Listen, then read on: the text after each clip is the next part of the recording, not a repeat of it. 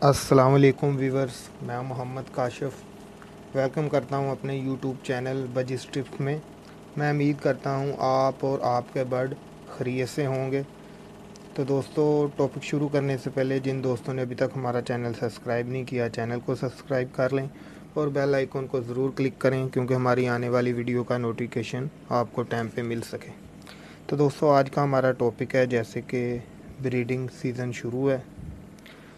کوکٹل آپ پورا سال محنت کرتے ہیں اس کے اوپر، اگر آپ کا کوکٹل کے چکس جو ہیں ڈیتھ ہو جاتی ہے ان کی، اگر پانچ یا چھ چکس ہیں تو سارے چکس آپ کے پال نہیں پاتے، گروتھ نہیں ہو پاتی، اس کے بارے میں بات کریں گے کوکٹل کے چکس کیوں مرتے ہیں، ان کی وجہ کیا ہے، اور اس بارے میں آپ کے ساتھ جو ہے نا میں ویڈیو شیئر کرتا ہوں۔ تو دوستو، سب سے پہلا ریزن ہے کہ کوکٹل کو آپ نے گندم ڈالنی ٹھیک ہے؟ کوکٹل کو آپ نے گندم ڈالنی ہے، رات کو آپ نے گندم جو ہے، اس کو آپ گرم پانی میں بھی بھگو سکتے ہیں، ٹھیک ہے؟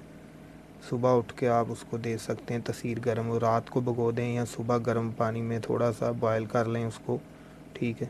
پھر بھی آپ ڈال سکتے ہیں۔ کوکٹل کو گندم آپ نے اس وقت ڈالنی ہے جب آپ کا پہلا چکس ہے جو تقریباً ایک ویک کا ہو جائے، ایک ہفتے بعد جو ہے نا آپ کا جو ہے نا چکس ہو جائے گا، تو اس وقت جو لاسٹ چکس آپ کا نکلا ہے نا، وہ ایک ہفتے کا ہو جائے گا۔ تو پھر آپ نے جو گندم ڈالنی شروع کرنی ہے، اس کی وجہ یہ ہوتی ہے، اگر اس سے پہلے جب آپ کے چکس نکلنے لگے ہیں، شروع ہو چکے ہیں تو آپ نے گندم نہیں ڈالنی، آپ دوسرا سو فوڈ ڈالیں، گندم نہ ڈالیں۔ گندم کو ڈالنے کا طریقہ یہی ہے، آپ کا چکس جو ہے لاسٹ چکس جو ہے، ایک ویک کا ہو جائے۔ آٹھ دن کا اس کے بعد آپ گندم ڈالنی شروع کریں۔ ہر روز بھی ڈال سکتے ہیں۔ بہت زبردست سو فوڈ ہے۔ چاہے آپ کے چھ، آٹھ یا چار چکس ہیں، انشاءاللہ سبھی چکس جو ہیں، گروتھ کریں گے۔ بہت زبردست سو فوڈ ہے۔ ٹھیک ہے دوستو۔ تو اس کے علاوہ بھی آپ کے ساتھ ایک میں بہت اہم انفارمیشن ہے، وہ میں شیئر کرتا ہوں کہ جب چوک کو کوکٹل کا جو ہے نا چکس نکلنا سٹارٹ ہو جائیں تو آپ اپنی سیڈ سے سورج مکھی کے بیج جو ہیں وہ ختم کر دیں، بالکل ہی نہ ڈالیں۔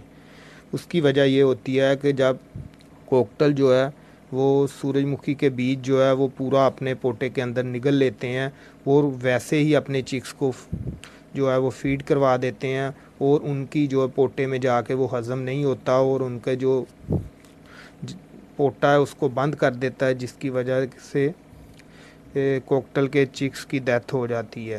یہ اگر آپ کے ایسا مسئلہ ہو، پوٹا بھی آپ کے برڈ کا پورا بڑا ہوا ہے، فیڈ بھی اچھی ہے، تو آپ اس کا، کبھی بھی آپ اس کو چیک کر کے دیکھیں گے تو یہ مسئلہ آتا ہے۔ یہ کافی بریڈر حضرات ہیں جنہوں نے ریسرچ کی ہے، ڈاکٹروں نے اس کے اوپر۔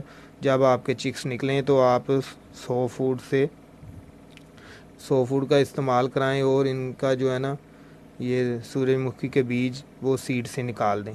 ٹھیک ہے دوستو، جب آپ کے چکس نکلنے سٹارٹ ہو جائیں، کیونکہ وہ یہ جانور پورا پوٹے کے اندر لے جاتا ہے، سورج مکھی کا بی اور ویسے ہی وہ فیڈ کرا دیتا ہے۔ اور جو دوسرا چکس ہے، اس کے اندر جا کے وہ اس کے پوٹے کو بند کر دیتا ہے جس کی وجہ سے پوٹا بھی بڑا ہوتا ہے اور ان چکس ان کے چکس کی ڈیتھ ہو جاتی ہے۔ یہ بہت اہم انفارمیشن تھی جو میں نے آپ کے ساتھ شیئر کی ہے۔ کبھی بھی انشاءاللہ یہ آپ کریں گے تو آپ کے کوکٹل کے جو چکس ہیں، سبھی گروتھ کریں گے اور ڈیتھ نہیں ہوگی ان سے۔ تو انشاءاللہ آپ کو اس کے بارے میں کافی فائدہ ملے گا۔ یہ بہت اچھا جو ہے نا طریقہ ہے جو میں نے آپ کو دونوں شیئر کی ہے انفارمیشن، ٹھیک ہے؟ گندم پہلے دس دن نہیں ڈالنی ہے ٹھیک ہے۔ اور اس کے علاوہ جو میں نے بتایا آپ کو، سورج مکھی کے بیچ جب چکس نکلنے آئے تو پورے آپ ختم کر دیں، جب وہ سیلف ہو جائیں، پھر ڈالنا شروع کریں۔ ملتے ہیں نیکسٹ ویڈیو میں نئے ٹاپک کے ساتھ۔ اللہ حافظ۔